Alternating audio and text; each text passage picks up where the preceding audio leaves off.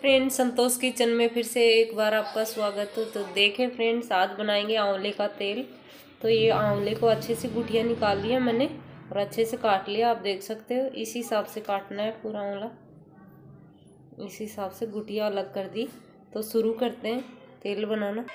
ये लोहे की कढ़ाई ली है, इसमें बनाएँगे तेल। सरसों का ऑयल डालेंगे इसमें।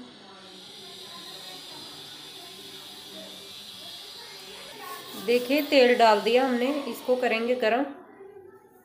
तो देखिए पाँच मिनट ही तेल को गरम किया है, इसमें डालेंगे आंवले।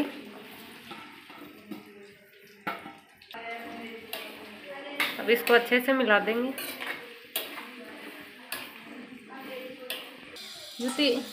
जितने आंवले थे, उतने पत्ते लिए हैं मीठे नीम के। तो डाल देंगे ये भी। देखिए इसको अच्छे से हिला देंगे। तो आप फ्रेंड्स इस चीज़ का ध्यान रखें। लोहे की कढ़ाई में ही बनाना है हमारे को। तो इस हिसाब से अब इसको चलाएँगे। जब तक आंवले काले हो जाएँगे, जब तक पकाएँगे इसको। हाई फ्लेम पे कर रखा है गैस। तो इसको पकाएँगे अब हाई फ्लेम पे एक घंटे तक। एक घंटे के बाद में फिर करेंगे चेक ये फ्रेंड्स आंवले काले हो गए तो ये पक गया। अब इसमें अरंडी का तेल ऐड करेंगे। तो ये गया इसमें अरंडी का तेल। ये 100 ग्राम अरंडी का तेल डाला है हमने। अब गैस को कर देंगे बंद हिला के और इसका ठंडा होने तक इंतज़ार करेंगे। ऑयल ठंडा हो गया, इसको डालेंगे जार में, छानेंगे छन्नी से।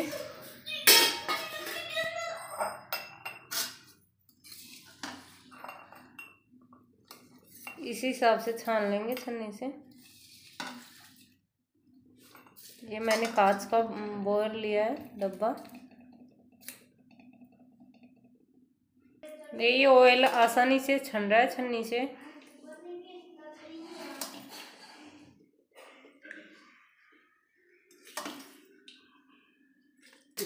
तो देखिए, तेल तो हमने निकाल लिया कांच के बोल में और इसको अलग कर दिया। ये छिलके बचे हैं ऑयल सारा निकाल लिया।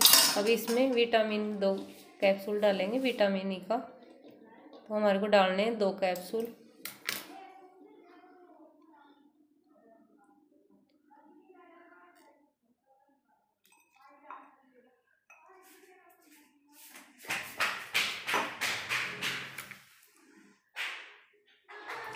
ये तेल क्या बालों की जड़ों को मज़बूत करता है।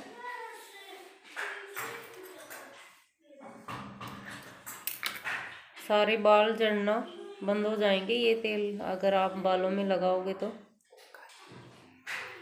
और काले भी हो जाएँगे।